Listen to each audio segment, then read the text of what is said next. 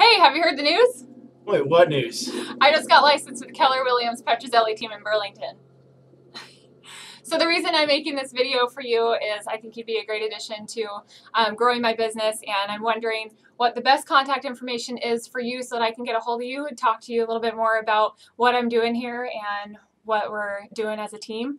Um, I have the backing of some really great experienced people that are going to help me make this transition a great one. Cool. You excited? I am so excited. All right, sweet. See you guys.